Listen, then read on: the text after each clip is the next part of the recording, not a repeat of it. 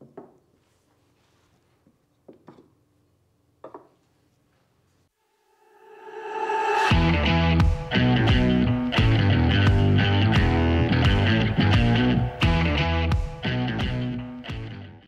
What's happening everyone? Welcome back to the workshop. Now in this video we are going to make a puzzle box. It's a nice simple little build and it's a great gift idea and you can make it as elaborate or as simple as you like. You can make it from plywood but we're going to make a nice decorative little box to keep our puzzle in and uh, make the puzzle itself. I've been watching a YouTuber by the name of Chris Ramsay um, solve loads of puzzles I've watched hours of his footage and uh, I really love puzzles. That's why I'm watching it. Um, they're fantastic, they're great fun, and there's some brilliant puzzle builders out there and some really elaborate, beautiful woodworking um, puzzles. So, something I want to get into more and more, make some more and more elaborate puzzles. So, we'll start with a simple one. We'll make a really nice box to put it in. I'm going to use up some of these offcuts that I have under the table. I have bins full of offcuts down here, so we're to use up some of them. So, yeah, without further ado, let's get a closer look and take you through what we're going to do. Okay, let's take a quick look at what this puzzle is. Now, hopefully you've seen on the opening clip of this video uh, exactly what this puzzle is. You can buy these puzzles anywhere. You've probably come across these before. It's basically that cube full of loads of different shaped blocks and you have to get all the blocks back in once you tip them out and there's a certain order they have to go in in. It's very simple. It's very uh, based on a very simple principle. I will share the solution coming towards the end of this video. I'll give you a spoiler warning to make sure that you don't spoil it for yourselves if you don't want to know the solution, but you can still build a puzzle without knowing the solution, which is the great thing. So it's very, very simple. So it's basically a cube and we're going to divide it up into five by five by five. So five units of measurement. So whatever measurement, whatever size you want to build your box, it's going to be five equal measurements. I just so happen to have an offcut piece here that's exactly 15 millimeters by 15 millimeters. So that's going to be my measurement. So it's going to be cubes made of 15 mil by 15 mil by 15 mil and that's going to be my unit. We're going to call that one unit of measurement. So you're going to need five of those cubes. So whatever measurement you go with, five of those units. So make five of those. Then you're going to make six units which will be two units wide by four units long. So six of those, two wide by four long. And then you're going to need to make another six blocks, which are four units by three units. Again, I'll make all these now in a second. I'll lay them all out on the table and you'll see exactly um, what we're making. So if it doesn't make sense now, it will in a few minutes. So that is going to be the puzzle itself. Five of these, six of these, and then six more of these blocks. And they all go in in a certain pattern that once you tip them out of the box, it's very difficult to get them back in and that's the puzzle itself. So that's nice and simple. We'll go through that now in a second.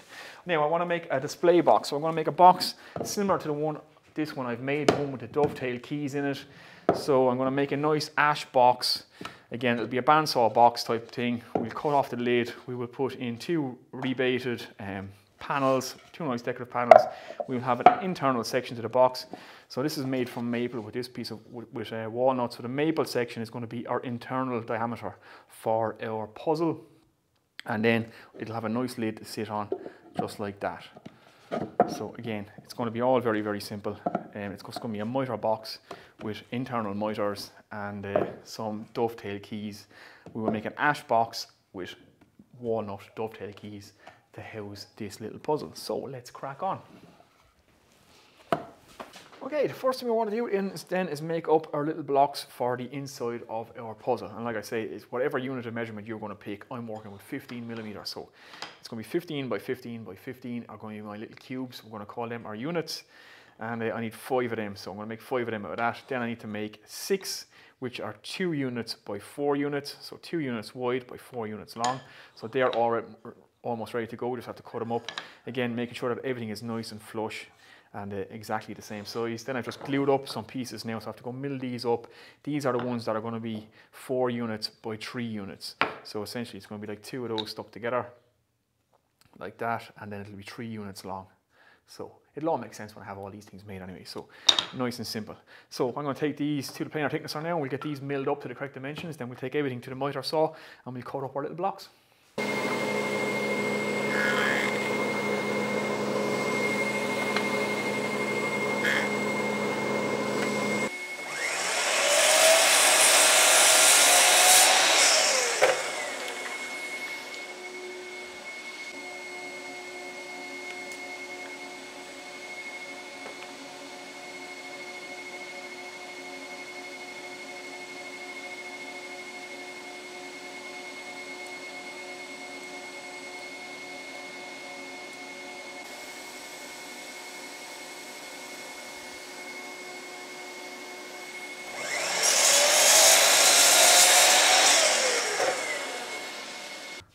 Guys, there are all our puzzle pieces all done up, ready to go. So like I said, you need five of your units, whatever your unit of measurement is going to be. Mine is 15 mil, so it's 15 by 15 by 15, so five of those little cubes. Then you're going to need six of these guys, which are two cubes wide, or two units of your measurement wide by four long. So you go two by four exactly. And you're going to need six of those. And then you will need six of these guys, which are four cubes. So there'll be 30 by 30 in the front. Hopefully you can see that by three cubes long. So that should make it nice and simple. So five of your units of measurement, 15 by 15 by 15. Then we have six pieces, which are 15 by 30 by 60. Then we have six pieces, which are 30 by 30 by 45. And they are all our pieces that are going to make up our cube and they go in in a certain fixed pattern. There's only one way that these, all these pieces can go together to go into our box uh, to make up our puzzle. So now that we have that, we can set that aside for a while. We will be oh, dropping it all over the floor and sanding it. And now we're going to make the internal part of our box. Okay, this is the next thing we're going to make. We're going to make the internal part of our box. So I'm going to make a copy of this box. You could just make a simple miter box. You don't have to go to all this length that I'm going to go to, but I want to make it so it's a nice little presentation box. And uh, it just makes the puzzle that little bit special in someone's hand. So like I say, you don't have to go to all this trouble, but I'm going to. So I want to make the internal part of the box. And this is essentially going to be the size of the, my cube that the pieces are going to go into. So you can see I have five blocks along the bottom, so five lots of 15, that's 75 mil, so it's going to be five by five by five, so 75 millimeters by 75 millimeters by 75 millimeters. I'm going to make that out of um, walnut. My outside of my box is going to be made from ash, so walnut on the inside. And uh, yeah, so nice and simple. I'm going to mill up a bit of um, walnut now to sit inside my box. I'm going to make this section so it's going to be 75 millimeters by 75 millimeters by 75 millimeters.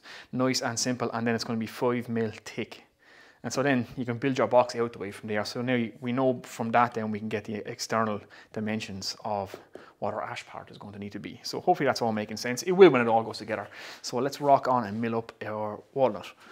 Okay guys, there is this, that's essentially our size of our box now that all these pieces have to fit back inside and they do all go back inside but like I say only one way. Now you could just make a miter box this side size put a top and bottom on it and that would do perfect. Like I say I'm going to make a box like this one so that's now the internal part of my box.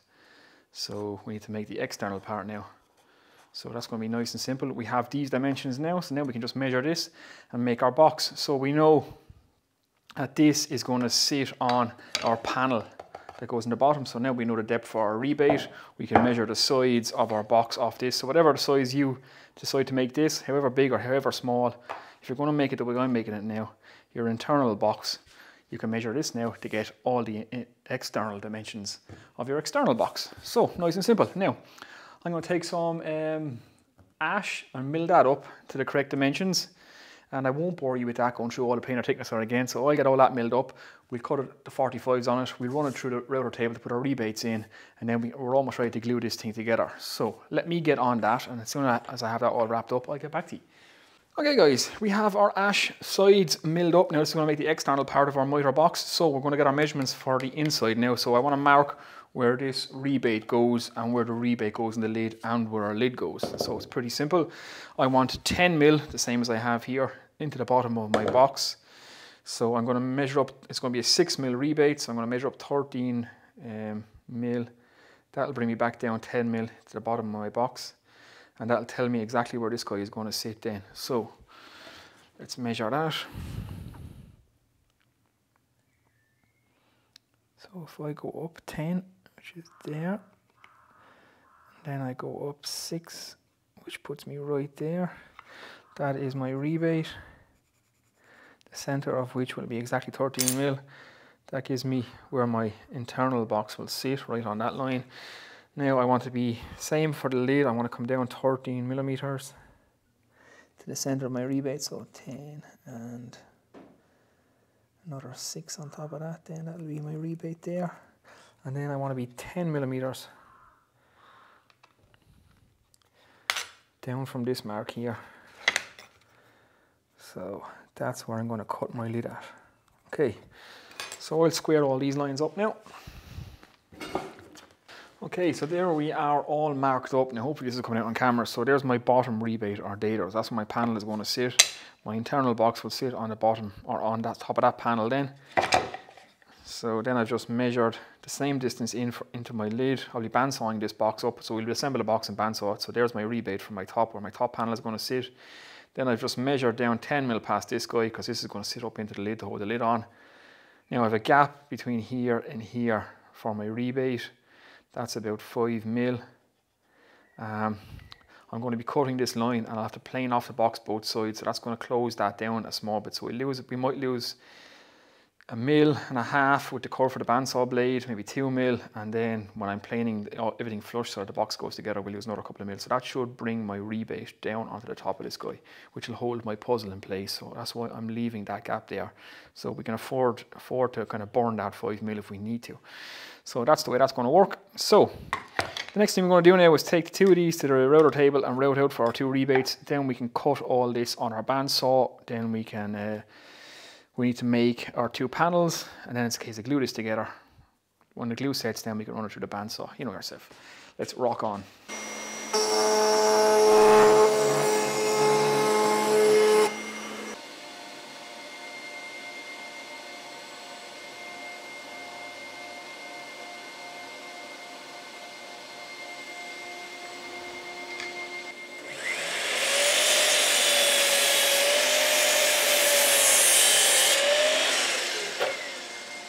Okay guys, there we go. We have a box within a box. Hopefully you can see in there now. So we're all mitered up, our two miter boxes, one internal one external.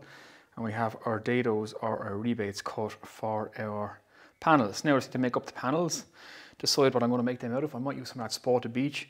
And once the panels are made then we can glue the external box together. When that's done then we can put in our, our miter splines and then we can put in the internal box after we cut the lid off. And we're almost there. So a little bit more work to do. I need to go mill up now some panels for the top and bottom of this. Okay guys, we are ready for glue up. So I'll just give everything an initial sand. I just made my panels out of um, walnut. I might as well keep to the walnut and ash team. I couldn't find a nice piece of spalted beech, so we'll just use little ash offcuts that I had to make the panels. So now it's just a case of glue everything together. So this box will go together just like the last box that I made. Very, very simple panels just sit in and all the sides go on just like that. And the panels will help keep everything square for the glue up. Famous last words. There we go just like that. So it's time to get this glued up now and once the glue is set we can cut our miter splines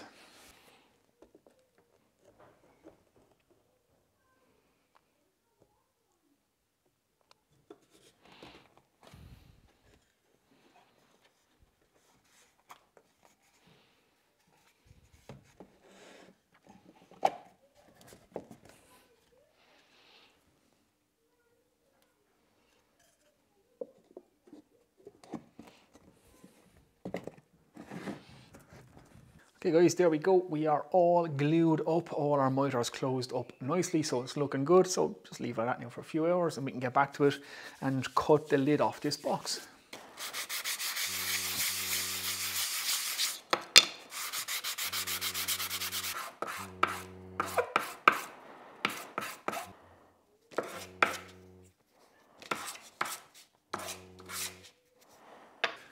Guys, our box is all uh, glued up now. So the glue has gone off. It's set enough so that we can work on it. I just went out for a nice little stroll there and came back and uh, everything is nice and glued up. I also, before we went, I sanded all these pieces down. So rounded over every single corner. So they're nice to touch in hand. They have nice little round corners on them, they're not too harsh.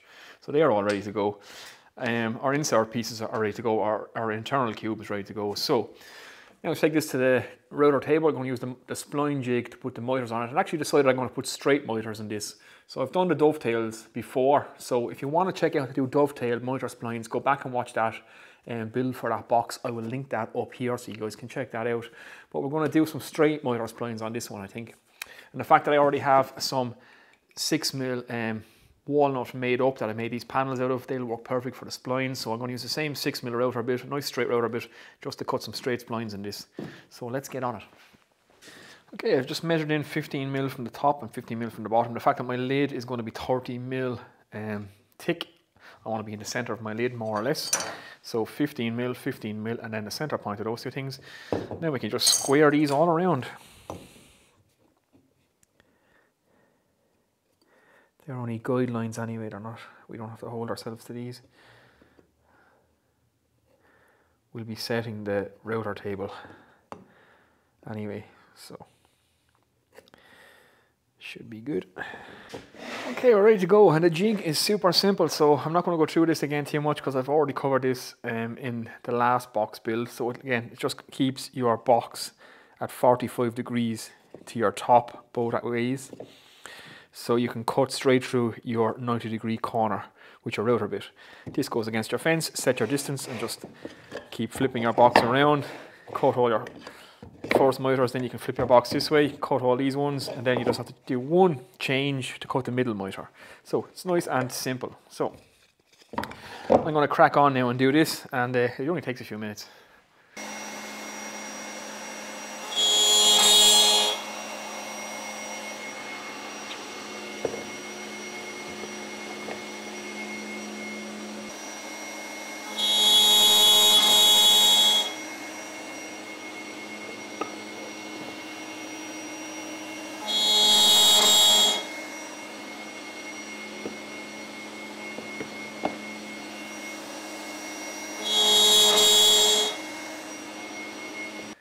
Okay, there we go. All our splines are cut. It is as simple as that.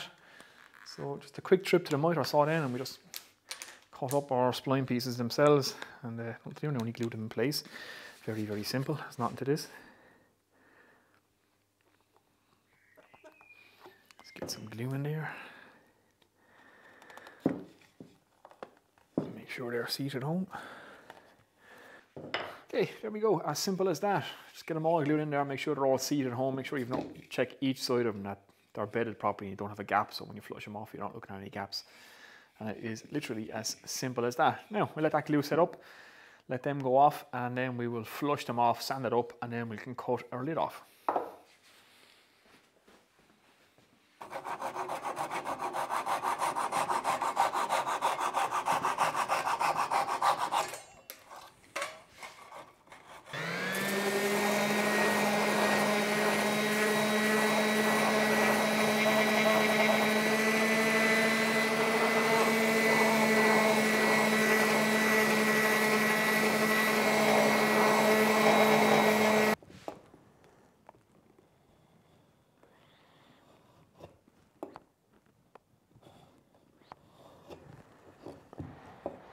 Okay, it's time to cut the lid off this. Now, I was going to take it to the bandsaw, but it's a small box and because my miter saw has such a massive depth, depth of cut, I can get through this whole box with nearly one cut. This thing is extremely accurate and uh, you get jointable edges out of it. So I'm thinking I'm going to chop it with the chop saw. I've never done this before, so I don't see why it's going to be a problem. Everything is good and solid. I have a nice straight edge there to bring me out, so I have my full range of my cut. And yeah, it's just a case of chop straight through this thing, like any other piece of timber. And like I say, this thing is so accurate and gives such a clean cut that um, my bandsaw doesn't cut straight really. So this is the safest option. And in fact I don't have a table saw, I think I'm going to do it this way. So yeah, let's do it. It's an experiment.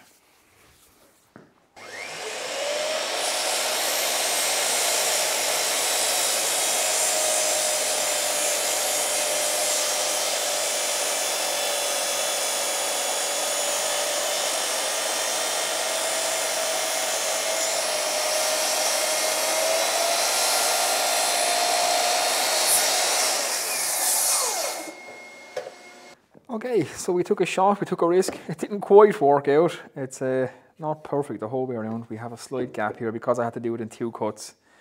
We have a little bit more here. So that's what shooting boards are for. So we'll finish this up on the shooting board now and we'll get it fitting nice and flush.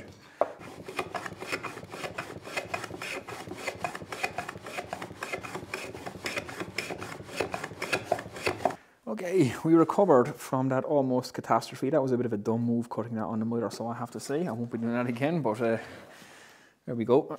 It was worth the experiment, I suppose. So we straightened everything up on the shooting board, so the edges aren't too bad. I'm not going to go any more because I don't want to remove any more material because my box will get a bit small.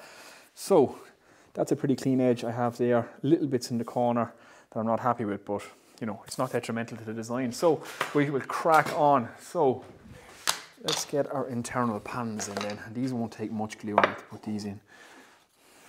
Just a small bit on the back to hold them in place. And we should be good.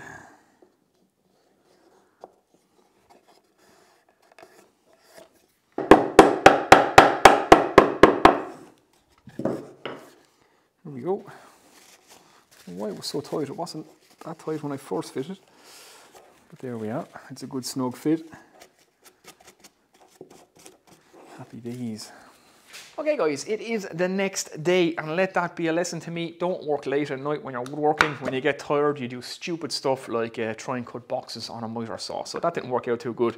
So we've squared everything up now and our lid is fitting nicely. Um, but we're left with a gap all the way around. Now my lid is hitting my internal box. So we have a 2 mil gap all the way around and if we're going to have something that we're going to look at, we're going to make it a feature. So that's what I intend to do. So I have some cherry veneer here. So I'm going to fit that in that gap all the way around and then we have a nice cherry line in here. Just, um, I suppose it'll be a de decorative edge. So we'll make it a feature uh, instead of a flaw. Now, all the cubes are together and they form a perfect cube. All the little blocks, they're somewhere in this image. I'm not going to tell you where they are, but uh, I'll reveal the solution at the end of the video and I'll tell you when to look away if you don't want to see it. The beauty of this puzzle is you can build it without knowing the solution. So that's great. So let's crack on with this cherry veneer now. Okay, here's our piece of cherry. It has a nice little grain pattern in it. So we're going to use this and I'm just going, literally going to cut um, um, this miter it and glue it all the way around. Then I'll use my lid to compress it and hold it on. So I shouldn't have any gap in there then and uh, it'll be just, just the right thickness which will be perfect and we'll have a nice cherry line that will uh, contrast between the ash lid and the ash box. So um, yeah, it's less of a flaw now and more of a feature. So nothing to this, I'm going to take it to the miter saw and cut my miters. Okay, so I have my pieces to where I'm happy with them. Now, it's a little bit of a tricky glue up, not too difficult, but anytime you're doing like a little tricky glue up, it's always best to do a, a dry run first, just to plan how you're going to do, go together. And uh, I have a plan now, so it's nice and simple. So we just whip everything off and have it ready to go. Okay, beautiful. There we go. We will set that to one side, let that go off for a while, let the glue set up, and uh, we come back to it, then we can flush that off and uh, sand all around and get our flush with our lid. Now, while that's happening, I'm going to put an oil finish on the blocks um, just to keep working. So let's do that. Okay, I'm going to finish this entire project with Danish oil, nice and simple. So I have to do each and every one of these blocks with just one coat.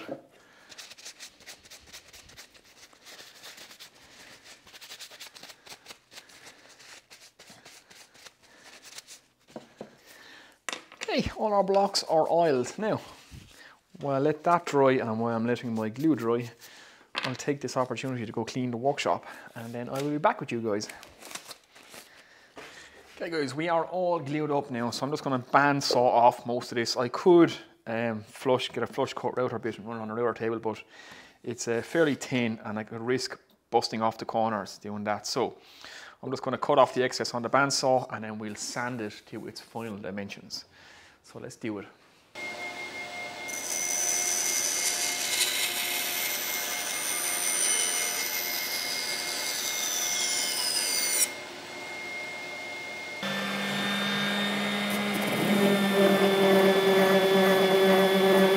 Okay, there we go. We have a nice little orange cherry line in there now, which should look nice when we hit it with the Danish oil. Gives us a nice little contrast, nice little border, or a nice little break between our lid and our box.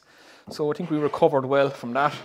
So now I'm going to continue on sanding this box. I'm going to get to it up to about 300 grit. I think that should be perfect. And when I have that done, we'll come back and I'll put the oil finish on. So let me get on with that and I'll get back to you. Okay, we are all sanded up. Now time for my favorite part as always, and that's applying the finish because you get to see your piece come alive. So let's get some oil on this thing.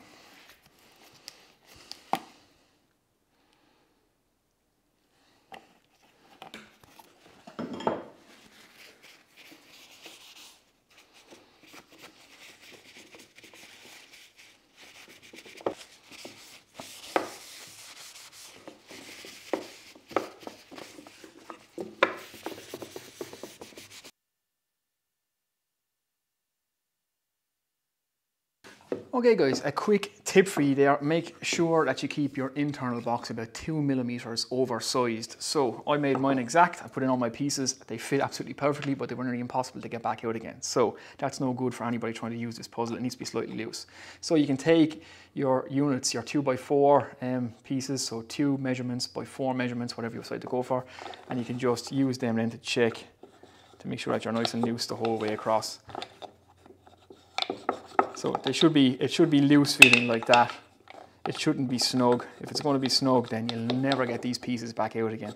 So I had to pare down the inside of my wall with my chisel just to give myself that extra couple of mil all around. Now, if you're going to do that, make sure you have a super flat back chisel, otherwise you're going to run into problems. So um, I'm just about ready to go now, so I'm going to re-sand the inside of this, refinish it, and then we're just there.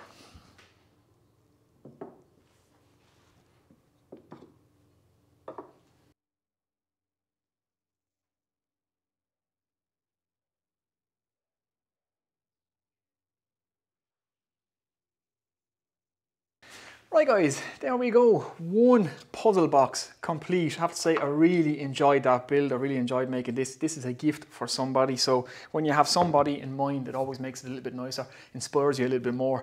And I think it makes you put a little bit more thought into the project too. So it's made from ash. We have our nice walnut miter splines. We have that cherry um, line between the lid and the body of the box, which turned out quite nice, I think. Um, so we made a mistake, but we recovered. And actually, I think that's a, a nice little touch. So it might be something that I will do in future is to put a little line like that of different material. A nice acrylic in there now, a red or a green or a blue acrylic would be lovely in there. So it's a good idea. So I kind of design on the fly, design as I'm going. I always have an idea, I never have a plan. So um, yeah, I think just by accident we have discovered a nice little detail there for the box. So I'm quite happy with that. Again, leave your box, your internal box, about two millimeters oversized, just so those pieces, they should be able to rattle a small bit in there, otherwise you'll never get them out. I put them in and I could not get them out, so I had to battle to get them back out and then pare down the walls. So that's one bit of advice I give you. Don't cut your box on a miter saw like I did, that was a stupid thing to do. But uh, again, it ended up with a great result, so, you know, it's all experimentation at the end of the day. So there you go guys, I hope you enjoyed that one. Thumbs up if you did. If you're not subscribed here already, be sure and hit that subscribe button, hit the bell if you want to get notifications. Don't if you don't. But uh, yeah, I hope you enjoyed that one. I'm going to make some more puzzle boxes in upcoming videos and um, some more intricate ones, some maybe original designs. I really like puzzles and puzzle boxes and I love the woodworking aspect of it. So I might try and marry the woodworking with some electrical stuff for some more puzzle boxes. I have some ideas, so that'll be some upcoming videos. So yeah, there you go. Now, the solution is going to be in after my logo and comes up at the end of this video. So keep watching if you want a solution. If you don't want a solution, turn off as soon as I walk off the screen. And uh, that's it, guys. So I get out of here now and I shall see you in the next one. Take it easy.